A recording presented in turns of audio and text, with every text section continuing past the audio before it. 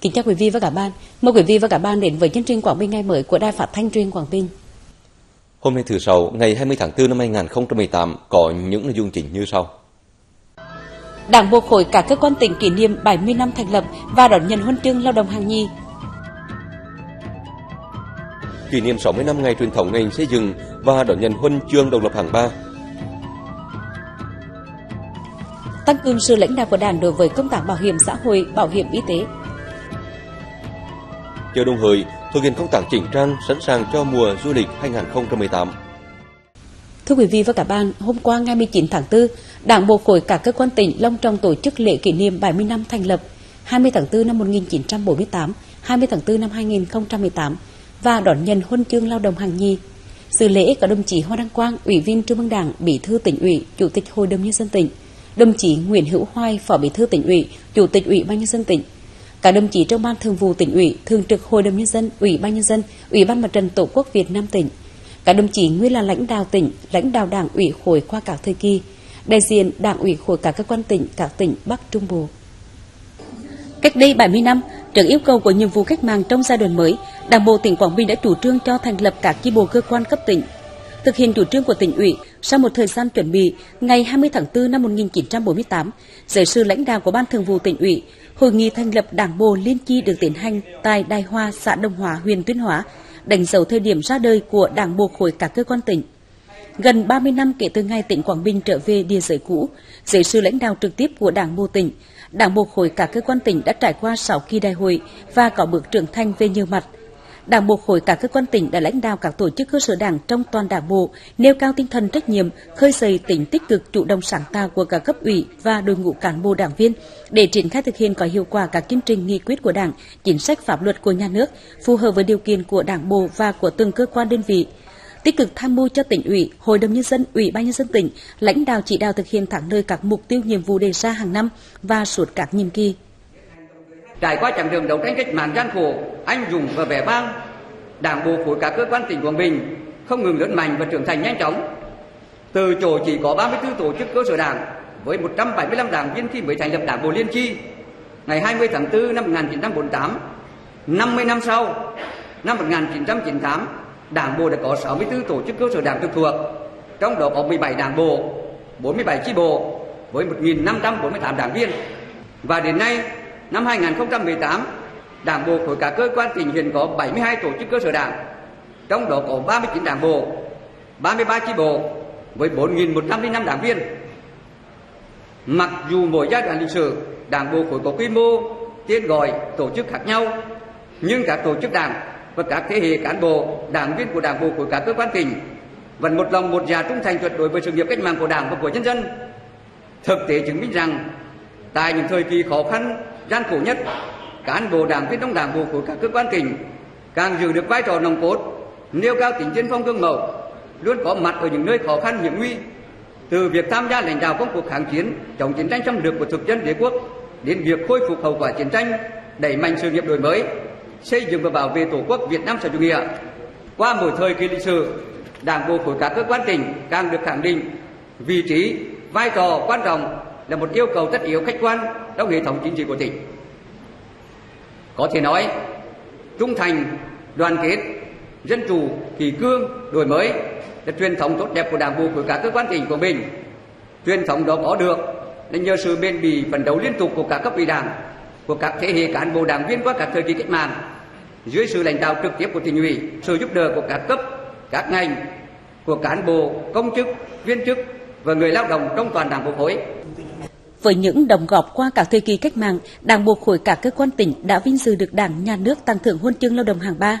cờ và bằng khen của Thủ tướng Chính phủ, cờ và bằng khen của tỉnh ủy, ủy ban nhân dân tỉnh và nhiều phần thưởng cao quý khác. Tại buổi lễ, đồng chí Hoàng Đăng Quang, Ủy viên Trung ương Đảng, Bí thư tỉnh ủy, Chủ tịch Hội đồng nhân dân tỉnh đã ghi nhận biểu dương những thành tích đạt được và những đóng góp quan trọng của các thế hệ cán bộ, đảng viên, công chức viên chức và người lao động trong toàn đảng bộ khối vào tiến trình phát triển đi lên của tỉnh. Về những nhiệm vụ trọng tâm trong thời gian tới, đồng chí Bí thư tỉnh ủy đề nghị trong lãnh đạo thực hiện nhiệm vụ chính trị, Đảng bộ khối phải xác định mục tiêu phát triển kinh tế xã hội của tỉnh chính là mục tiêu của Đảng bộ và của các tổ chức đảng thuộc thuộc Do đó, cần tập trung lãnh đạo các tổ chức đảng và đội ngũ cán bộ đảng viên trong toàn đảng bộ phải tiếp tục đổi mới mạnh mẽ về tư duy, cách nghĩ, cách làm, năng động sáng tạo, có ý chí quyết tâm trong công tác tham mưu, chỉ đạo tổ chức thực hiện các nhiệm vụ của từng cơ quan, đơn vị. Đảng bộ khối các cơ quan tỉnh phải tăng cường lãnh đạo để tiếp tục nâng cao nhận thức cho đội ngũ cán bộ đảng viên và các tổ chức đảng về yêu cầu khách quan và tính cấp thiết của công tác cải cách hành chính, nhất là cải cách các cái thủ tục hành chính, đổi mới phong cách phục vụ, lấy phục vụ người dân và doanh nghiệp làm tiêu chí hàng đầu và xem đây là nhiệm vụ đột phá quan trọng nhằm phát huy tối đa các nguồn lực, đồng viên được mọi tiềm năng to lớn cho quá trình xây dựng và phát triển của tỉnh nhà.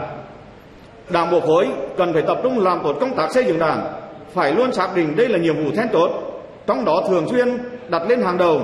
việc tuyên truyền giáo dục chính trị tư tưởng, rèn luyện phẩm chất đạo đức lối sống cho đội ngũ cán bộ đảng viên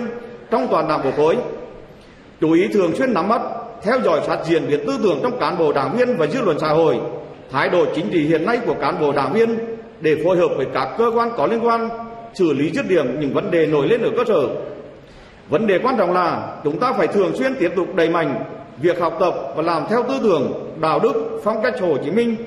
và các chuyên đề hàng năm gắn với thực hiện nghị quyết Trung 4 khóa 12 về tăng cường công tác xây dựng chỉnh đốn đảng, tập trung thực hiện tốt công tác tổ chức xây dựng đảng, nhất là các vấn đề về sắp xếp tổ chức bộ máy theo các chương trình hành động, kế hoạch thực hiện nghị quyết Trung 6 khóa 12 của Ban Thường vụ tỉnh ủy, nắm chắc tình hình nội bộ của một số cơ quan đơn vị và diễn biến tư tưởng của cán bộ đảng viên sau khi sắp xếp kiện toàn giải thể hợp nhất một số đơn vị theo nghị quyết của hội nghị Trung 6 khóa 12 và kế hoạch thực hiện của Ban Thường vụ tỉnh ủy. Vấn đề đặc biệt quan tâm là Đảng bộ khối cần phải thực hiện tốt công tác quy hoạch, đào tạo bồi dưỡng cán bộ để tạo nguồn cán bộ và nâng cao chất lượng đội ngũ cán bộ đảng viên, tăng cường chỉ đạo sinh hoạt chi bộ theo chuyên đề, định hướng, hướng dẫn các đảng bộ chi bộ cơ sở lựa chọn những chuyên đề sinh hoạt phù hợp, chấn chỉnh ngay tình trạng tổ chức sinh hoạt đảng bộ chi bộ hình thức không có chất lượng, tăng cường công tác kiểm tra giám sát để siết chặt kỷ luật kỷ cương trong toàn đảng bộ khối, chú trọng kiểm tra khi có dấu hiệu vi phạm đối với những cán bộ đảng viên trong thực hiện chức trách nhiệm vụ được giao, giải quyết tốt các công việc cho người dân và doanh nghiệp, thực hiện đồng bộ các giải pháp nhằm tiếp tục thực hiện có chất lượng hiệu quả nghị quyết trung ương khóa 12 về tăng cường xây dựng chỉnh đốn đảng, ngăn chặn đẩy lùi sự suy thoái về tư tưởng chính trị, đạo đức lối sống, những biểu hiện từ diễn biến, từ chuyển hóa trong nội bộ. Trong đó cần phải quan tâm khắc phục và giải quyết triệt đề các hiện tượng mất dân chủ, thiếu chấp hành nguyên tắc tổ chức và sinh hoạt đảng, mất đoàn kết nội bộ, biểu hiện phai nhạt lý tưởng cách mạng, xa sút về phẩm chất đạo đức lối sống, coi trọng công tác phát hiện, phòng ngừa, ngăn chặn và đẩy lùi tệ lãng phí quan liêu, tham nhũng trong các cấp các ngành, nhất là người đứng đầu các cơ quan, đơn vị. Tiếp tục đổi mới phương thức lãnh đạo, cải tiến lề lối làm việc của ban chấp hành, ban thường vụ đảng ủy khối và của cấp ủy các cấp để vừa bảo đảm được tính toàn diện, đồng thời tập trung vào những vấn đề trọng tâm trọng điểm, bám sát quy chế làm việc, chương trình công tác hàng năm, tăng cường siết chặt kỷ luật kỷ cương, đổi mới phương thức lãnh đạo, lề lối làm việc của cấp ủy, của tổ chức đảng, bảo đảm giữ vững nguyên tắc tập trung dân chủ, chế độ lãnh đạo tập thể gắn với phát huy trách nhiệm cá nhân, nhất là người đứng đầu.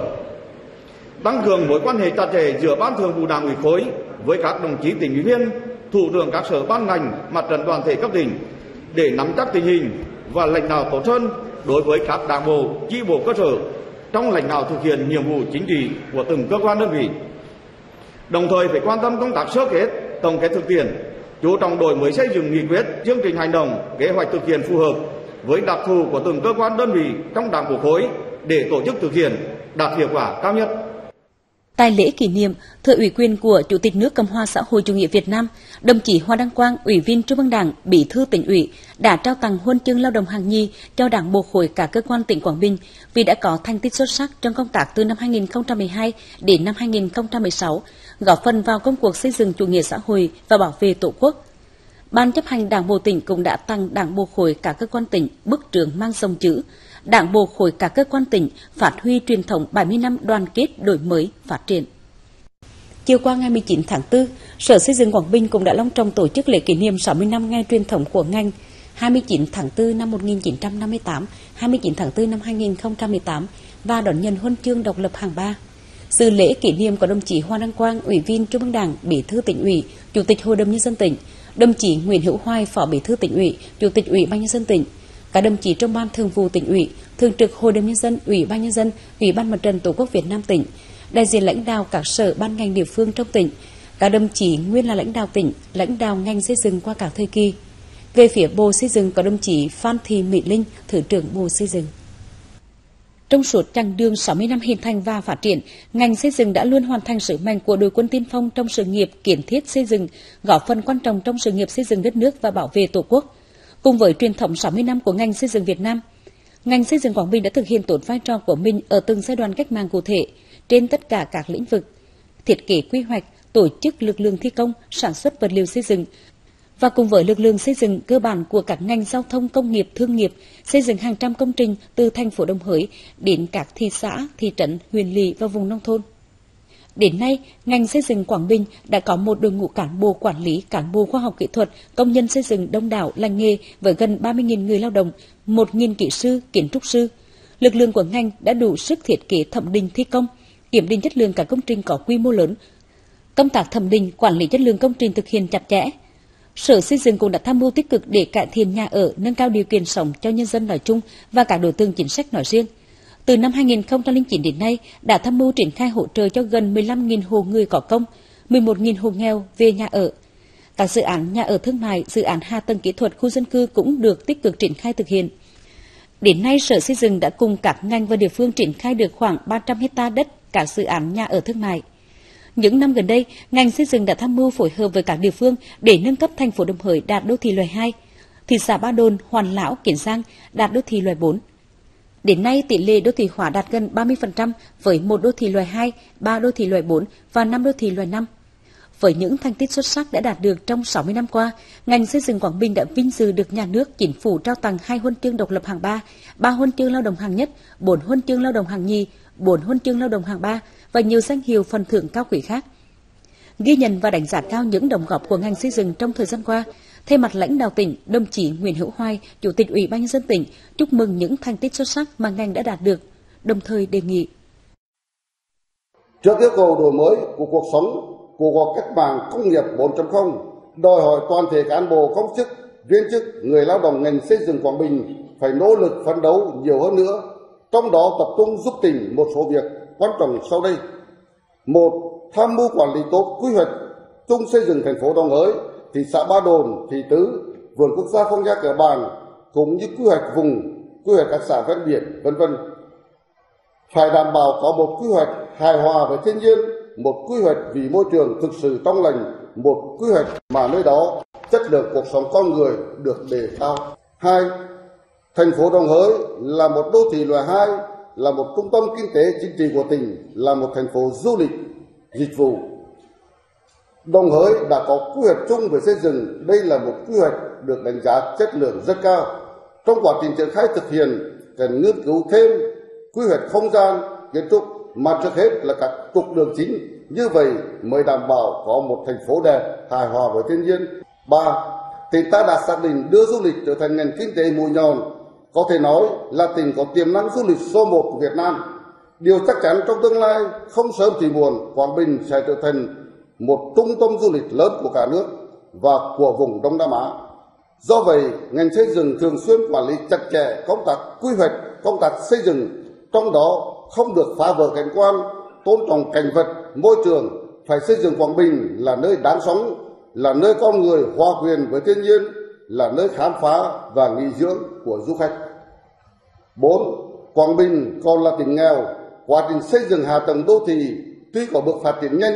nhưng chưa đáp ứng yêu cầu. Do vậy, yêu cầu ngành xây dựng chủ động để tham mưu cho cấp ủy chính quyền các cấp làm tốt công tác xây dựng. Năm Yêu cầu lãnh đạo sở xây dựng luôn thường xuyên quan tâm tạo điều kiện cho cán bộ, người lao động trong các cơ quan nhà nước, các doanh nghiệp, các tổ chức khác được thường xuyên cập nhật kiến thức, tiến bộ mới về khoa học công nghệ trong lĩnh vực xây dựng,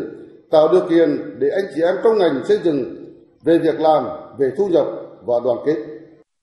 Dịp này, thưa ủy quyền của Chủ tịch nước Cộng hòa xã hội chủ nghĩa Việt Nam, đồng chí Hoàng Đăng Quang, Ủy viên Trung ương Đảng, Bí thư tỉnh ủy, Chủ tịch Hội đồng nhân dân tỉnh đã trao huân chương độc lập hạng ba cho Sở Xây dựng tỉnh Quảng Bình vì có thành tích xuất sắc trong công tác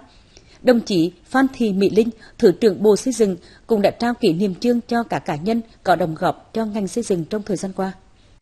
Chiều qua 19 tháng 4, Ban Thường vụ tỉnh ủy Quảng Bình tổ chức hội nghị sơ kết 5 năm thực hiện nghị quyết số 21 NQTU của Bộ Chính trị về tăng cường sự lãnh đạo của Đảng đối với công tác bảo hiểm xã hội, bảo hiểm y tế giai đoạn 2012-2020. Đồng chí Trần Công Thuật, Phó Bí thư Thường trực tỉnh ủy, trưởng đoàn đại biểu Quốc hội tỉnh chủ trì hội nghị. Sự hội nghị có các đồng chí Nguyễn Thị Thanh Hương, Ủy viên Thường vụ tỉnh ủy, Phó Chủ tịch Thường trực Hội đồng nhân dân tỉnh, đồng chí Cao Văn Đình, Ủy viên Thường vụ, trưởng ban tuyên giáo tỉnh ủy, đồng chí Nguyễn Tiến Hoàng, Phó Chủ tịch Ủy ban nhân dân tỉnh, lãnh đạo các sở ban ngành, Ủy ban Mặt trận Tổ quốc và các đoàn thể chính trị xã hội cấp tỉnh, đại diện lãnh đạo các huyện, thị xã, thành phố, bảo hiểm xã hội, bảo hiểm y tế, phòng lao động, bệnh viện đa khoa các huyện, thị xã, thành phố. Sau khi Bộ Chính trị ban hành nghị quyết số 21 NQTU, Ban Thường vụ tỉnh ủy đã ban hành kế hoạch số 55 KHTU về tổ chức học tập quán triệt và chương trình hành động thực hiện nghị quyết số 21 Ban tuyên giáo tỉnh ủy đã tích cực chỉ đạo các cơ quan báo chí đẩy mạnh công tác tuyên truyền nghị quyết số 21, mở các chuyên trang chuyên mục, tăng thời lượng phát sóng. Báo Quảng Bình đã thực hiện mỗi tháng một chuyên mục bảo hiểm xã hội với nhiều bài viết và tin tức. Đài phát thanh truyền hình Quảng Bình thực hiện chuyên mục chính sách bảo hiểm xã hội, bảo hiểm y tế, thời lượng 15 phút một chuyên đề với 60 lần phát sóng.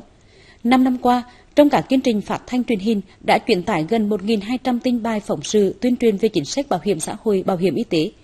Bảo hiểm xã hội tỉnh đã phối hợp với Ủy ban Mặt trận Tổ quốc Việt Nam tỉnh, Hội Liên hiệp Phụ nữ, Hội nông dân, Liên đoàn Lao động tỉnh, Ủy ban nhân dân các xã phường thị trấn tổ chức hội nghị tuyên truyền và đối thoại trực tiếp với người lao động của các doanh nghiệp về những điểm mới của Luật Bảo hiểm xã hội năm 2014 và Luật Bảo hiểm y tế sửa đổi.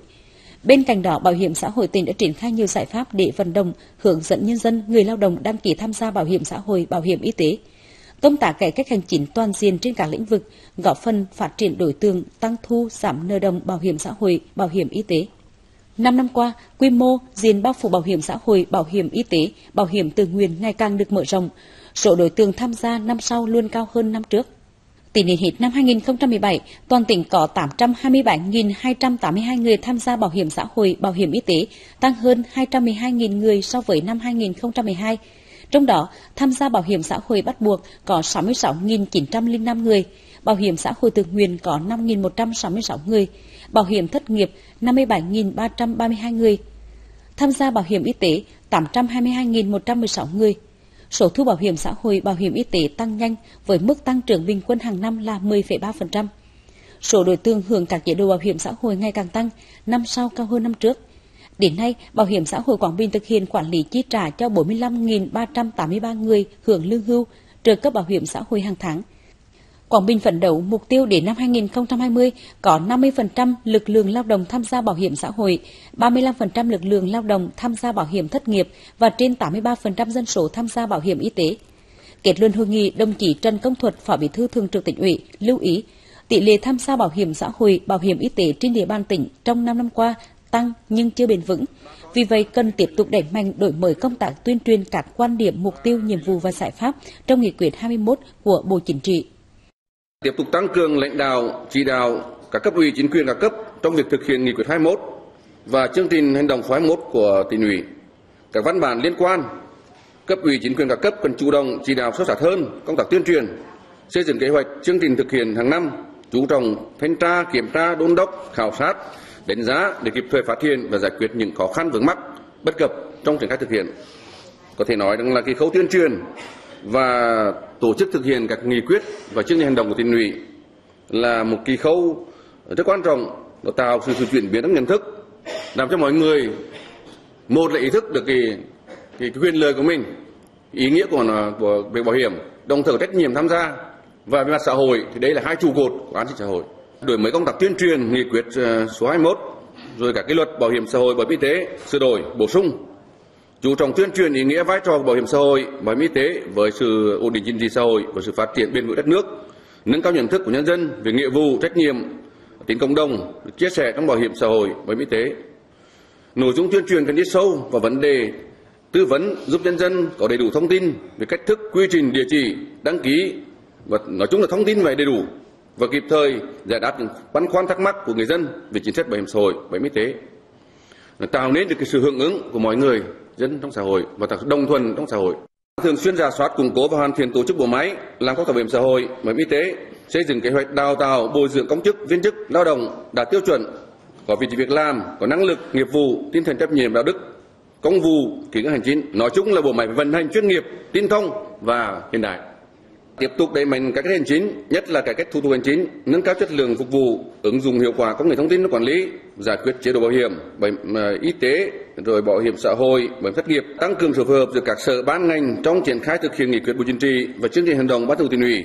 Trong công tác thanh tra, kiểm tra, các đơn vị sử dụng lao động, đặc biệt là đối với các đơn vị doanh nghiệp đang cố tình trốn đóng thuế, nợ bảo hiểm xã hội, chưa tham gia đầy đủ cho người lao động ờ, thuộc ờ, diện phải tham gia bảo hiểm xã hội bắt buộc rồi bảo hiểm thất nghiệp và các cơ sở khám chữa bệnh chi vượt quỹ khám chữa bệnh bảo hiểm y tế kiên quyết xử lý những hành vi vi phạm các chế độ chính sách bảo hiểm xã hội bảo hiểm y tế trong dịp này, Ban Thường vụ tỉnh ủy đã tặng bằng khen cho 10 tập thể và 10 cá nhân có thành tích xuất sắc trong 5 năm thực hiện nghị quyết số 21 của Bộ Chính trị về tăng cường sự lãnh đạo của Đảng đối với công tác bảo hiểm xã hội, bảo hiểm y tế giai đoạn 2012-2020. Sáng qua ngày 19 tháng 4, Bộ Chỉ huy quân sự tỉnh đã tổ chức lễ phát động phong trào thi đua đặc biệt làm theo lời bác, thi đua danh bổn nhất. Chào mừng kỷ niệm 70 năm ngày Chủ tịch Hồ Chí Minh ra lời kêu gọi thi đua ái quốc 11 tháng 6 năm 1918, 11 tháng 6 năm 2018. Dự lễ có đồng chí Trần Công Thuật, Phó Bí thư Thường trực tỉnh ủy, trưởng đoàn đại biểu Quốc hội tỉnh, đồng chí Nguyễn Tiến Hoàng, Phó Chủ tịch Ủy ban nhân dân tỉnh. Về phía quân khu 4 có thiếu tướng Trần Minh Thanh, chủ nhiệm chính trị quân khu thiết thực kỷ niệm 70 năm ngày Chủ tịch Hồ Chí Minh ra lời kêu gọi thi đua ái quốc, Bộ Chỉ huy quân sự tỉnh được Bộ Tư lệnh Quân khu 4 chọn làm điểm để phát động phong trào thi đua đặc biệt với chủ đề làm theo lời Bác, thi đua giành bốn nhất. Đây là một trong những hoạt động trọng tâm trong phong trào thi đua của toàn quân nói chung và lực lượng vũ trang tỉnh Quảng Bình nói riêng. Đồng thời, là cơ sở để quân khu rút kinh nghiệm chỉ đạo chung trong toàn lực lượng vũ trang quân khu 4. Đợt thi đua làm theo lời bác, thi đua danh bổn nhất sẽ bắt đầu từ ngày 1 tháng 5 đến ngày 11 tháng 6 năm 2018 với bốn nội dung chỉ tiêu cụ thể. Nhận thức, tư tưởng tốt, thực hiện nhiệm vụ chính trị đạt kết quả cao nhất, tổ chức các hoạt động có hiệu quả nhất, xây dựng chính quy, rèn luyện kỷ luật nghiêm nhất. Phát biểu tại buổi lễ, đồng chí Nguyễn Tiến Hoàng, Phó Chủ tịch Ủy ban nhân dân tỉnh, nhấn mạnh tầm quan trọng của công tác thi đua khen thưởng đối với sự nghiệp đấu tranh giải phóng dân tộc, thống nhất đất nước, cũng như trong sự nghiệp xây dựng và bảo vệ Tổ quốc xã hội chủ nghĩa ngày nay. Kế thừa truyền thống tốt đẹp của quân đội nhân dân Việt Nam, của quê hương Quảng Bình hay giỏi, đồng chí yêu cầu trong thời gian tới, lực lượng vũ trang tỉnh cần tập trung chỉ đạo để làm tốt công tác tuyên truyền giáo dục, xây dựng trong mỗi cán bộ chiến sĩ lực lượng vũ trang tỉnh, động cơ thi đua đúng đắn, có quyết tâm trách nhiệm cao, khắc phục mọi khó khăn, xây dựng lực lượng vũ trang tỉnh ngày càng vững mạnh, đáp ứng yêu cầu nhiệm vụ trong tình hình mới, góp phần cùng với địa phương thực hiện thắng lợi các mục tiêu kinh tế xã hội, quốc phòng an ninh. Nhân dịp này, Bộ Chỉ huy quân sự tỉnh đã vinh dự nhận bằng khen của Thủ tướng Chính phủ vì đã có thành tích xuất sắc trong thực hiện nhiệm vụ cứu hộ cứu nạn và giúp nhân dân khắc phục hậu quả cơn bão số 10 năm 2017. Bây giờ là những thông tin thời tiết đầu tiên trong ngày hôm nay. Dự báo thời tiết ngày 20 tháng 4, khu vực miền núi mây thay đổi ngày nắng gió tây bắc cấp 2 nhiệt độ từ 19 đến 32 độ, độ ẩm 52 đến 96%. Khu vực đồng bằng ven biển mây thay đổi ngày nắng gió đông đến đông bắc cấp 2 cấp 3, nhiệt độ từ 21 đến 29 độ, độ ẩm 60 đến 88%. Khu vực thành phố Đồng Hới mây thay đổi ngày nắng, gió đông đến đông bắc cấp 2 cấp 3, nhiệt độ từ 22 đến 29 độ, độ ẩm 59 đến 87%. Dự báo thời tiết biển không mưa tầm nhìn xa trên 10 km, gió đông đến đông bắc cấp 4 cấp 5, biển bình thường, độ cao sóng dưới 1,5 m. Chương trình Quảng Bình ngày mới sáng nay sẽ được tiếp nối với một số thông tin đáng quan tâm khác. Đồng chí Lê Minh Ngân kiểm tra công tác cải tạo phục hồi môi trường các dự án khai thác titan.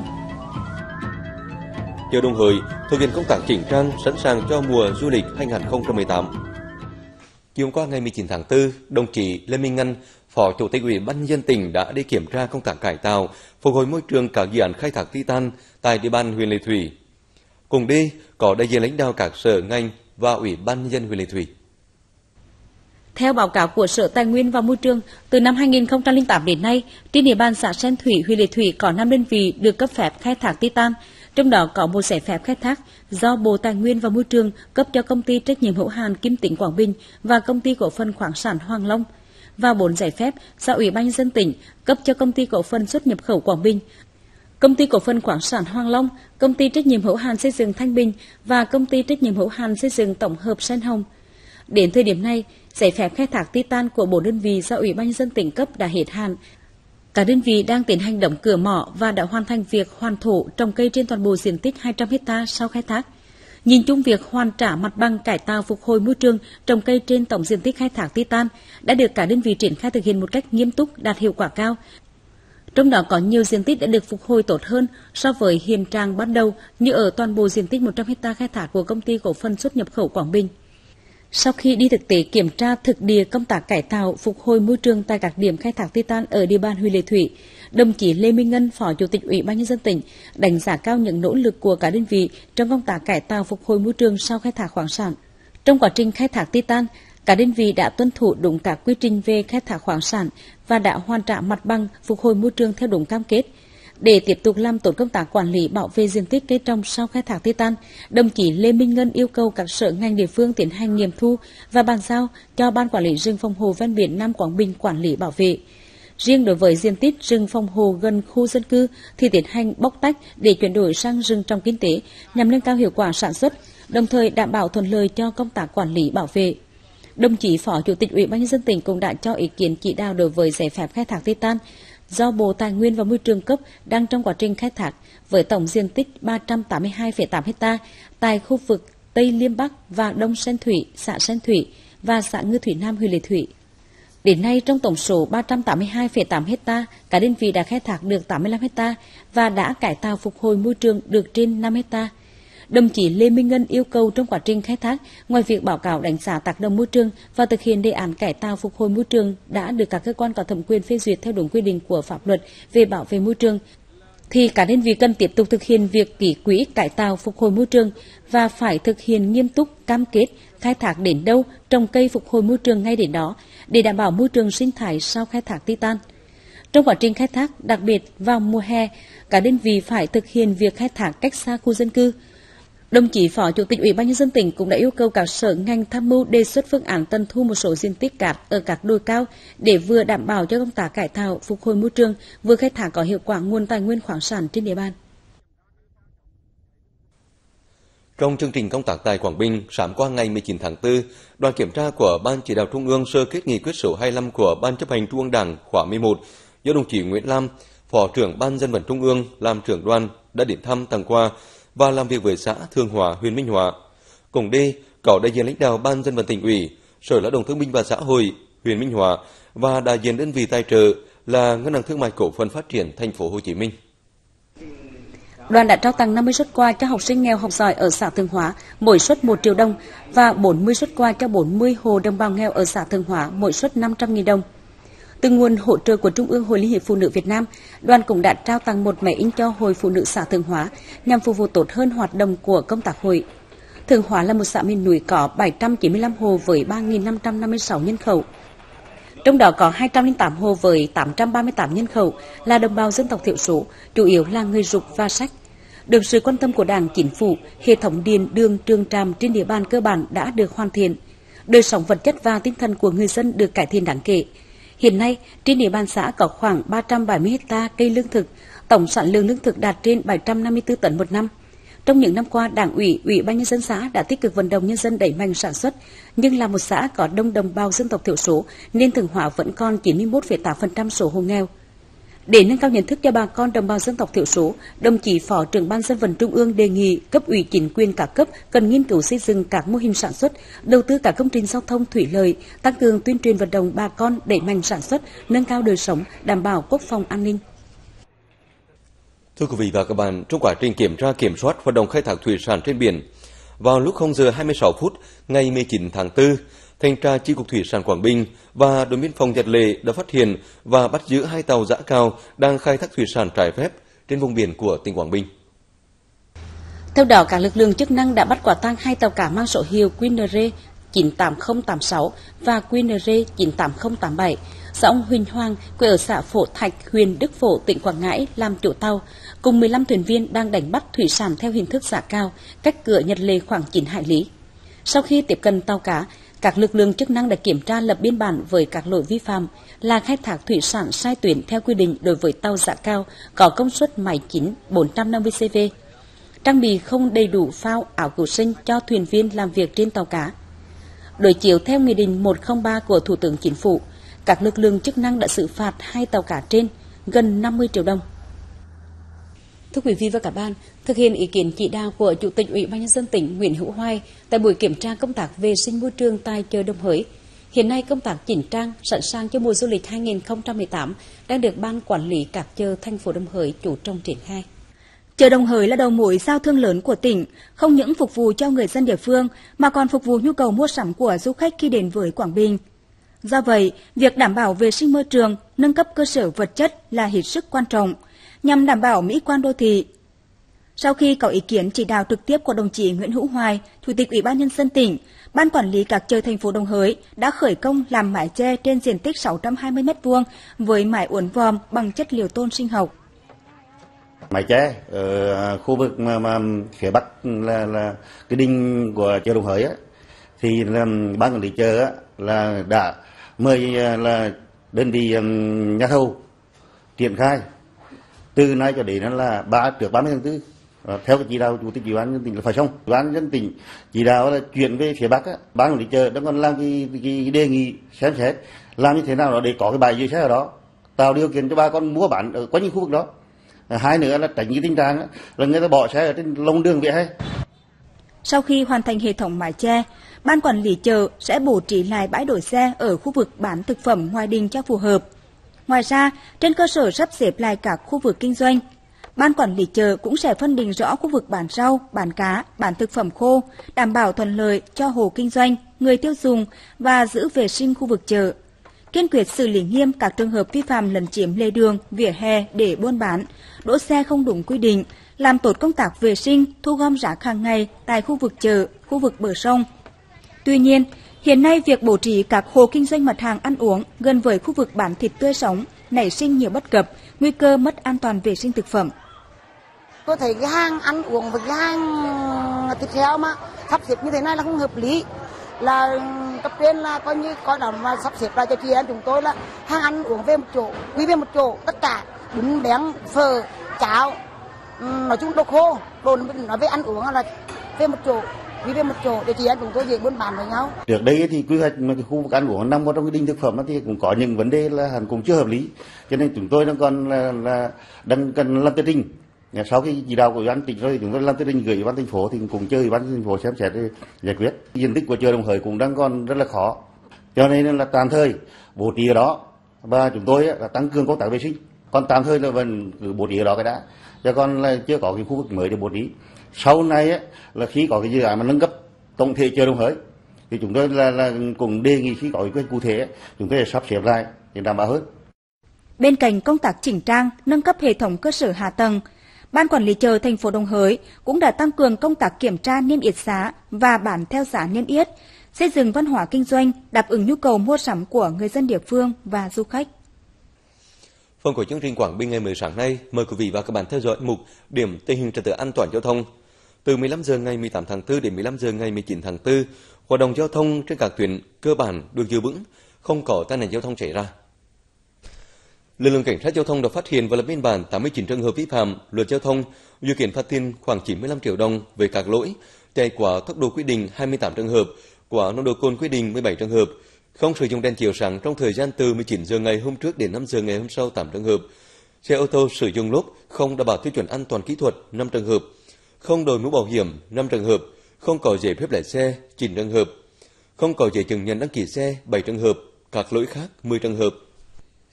Người tham gia giao thông, đặc biệt là người điều khiển xe mô tô, xe gắn máy, cần chú ý quan sát, chấp hành nghiêm chỉnh quy tắc giao thông nhằm đảm bảo an toàn cho chính mình và cho người khác khi đi lại trên các tuyến đường. Chúc quý vị và các bạn luôn an toàn khi tham gia giao thông. Thời gian qua, tình hình an toàn giao thông tại các điểm giao cắt đồng mức giữa đường bộ và đường sắt có nhiều diễn biến phức tạp. Tai nạn chủ yếu giữa tàu hỏa với ô tô, tàu hỏa với mô tô, xe gắn máy. Trên 90% số vụ tai nạn giao thông đường sắt xảy ra tại những đường ngang không người gác và các lối đi dân sinh. Theo quy định của luật giao thông đường bộ, trên những đoạn đường bộ giao nhau đồng mức với đường sắt thì phương tiện giao thông đường sắt được quyền ưu tiên đi trước. Để đảm bảo an toàn khi vượt qua đường sắt, người tham gia giao thông cần tuân thủ Tại đường ngang đường sắt có dàn chắn, cân chắn. Khi dàn chắn, cân chắn đang di chuyển hoặc đã đóng, người và phương tiện đường bộ phải dừng đúng phần đường quy định và cách dàn chắn, cân chắn tối thiểu 3 mét. Tại đường ngang đường sắt không có dàn chắn, cần chắn khi đèn tín hiệu màu đỏ bật sáng hoặc có tiếng chuông báo hiệu, người và phương tiện đường bộ phải dừng đúng phần đường quy định và cách đường ray gần nhất tối thiểu 6 mét. Tại đường ngang đường sắt không có gian chắn, cân chắn, đèn tín hiệu và chuông báo động. Người và phương tiện đường bộ phải dừng lại và quan sát cả hai phía.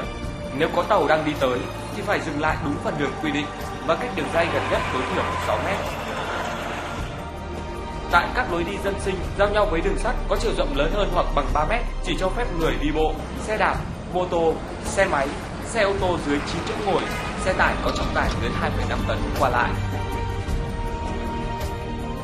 Tại các lối đi dân sinh giao nhau với đường sắt có chiều rộng nhỏ hơn 3 mét, cấm các phương tiện giao thông cơ giới đường bộ qua lại, trừ mô tô, xe máy. Người và phương tiện đường bộ đến các vị trí này phải chú ý quan sát cả hai phía, chỉ vượt qua đường sắt khi chắc chắn không có tàu đang tới. Hãy biết dừng đúng lúc khi qua đường sắt. Chương trình Quảng Bình ngày mới sáng nay đến đây xin kết thúc. Cảm ơn quý vị và các bạn đã dành thời gian quan tâm theo dõi. Ngay sau đây là những thông tin thời tiết của ngày hôm nay. Dự báo thời tiết ngày 20 tháng 4, khu vực miền núi mây thay đổi, ngày nắng gió tây bắc cấp 2, nhiệt độ từ 19 đến 32 độ, độ ẩm 52 đến 96%. Khu vực đồng bằng ven biển mây thay đổi, ngày nắng gió đông đến đông bắc cấp 2 cấp 3, nhiệt độ từ 21 đến 29 độ, độ ẩm 60 đến 88%. Khu vực thành phố Đồng Hới mây thay đổi ngày nắng, gió đông đến đông bắc cấp 2 cấp 3, nhiệt độ từ 22 đến 29 độ, độ ẩm 59 đến 87%. Dự báo thời tiết biển không mưa tầm nhìn xa trên 10 km, gió đông đến đông bắc cấp 4 cấp 5, biển bình thường, độ cao sóng dưới 1,5 m. Dự báo thời tiết đêm 20 ngày 21 tháng 4, mây thay đổi không mưa, sáng sớm có sương mù nhẹ vài nơi, ngày trời nắng, gió đông bắc cấp 2 cấp 3, nhiệt độ từ 21 đến 33 độ, độ ẩm từ 50 đến 95%.